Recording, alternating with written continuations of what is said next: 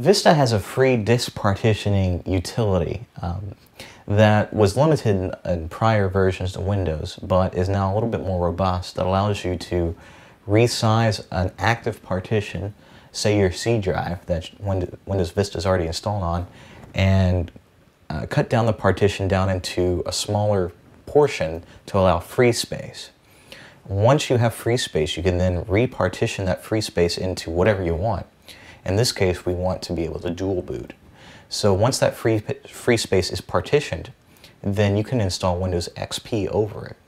How to do that is very simple. You'll go into your Start menu, you'll right click on My Computer, go to Manage, and then it'll show, it'll give you a graphical representation of how much space is available and which partitions you have. In my case, I already have an extra partition called the D drive on my computer and I'll show you that now. And click on Disk Management under Storage uh, when you right-click on My Computer and select Manage.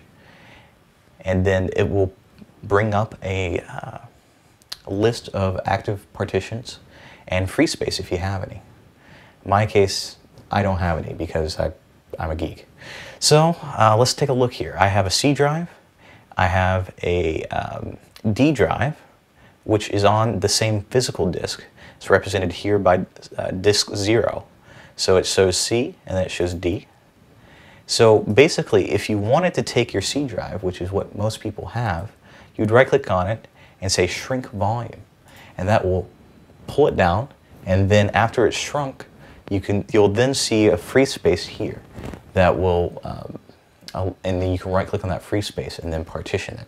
Once it's partitioned, Windows XP setup will see it and you can then install Windows XP. Once that is installed, you'll then be able to dual boot simply by starting up, restarting your computer and selecting XP or Vista when you restart.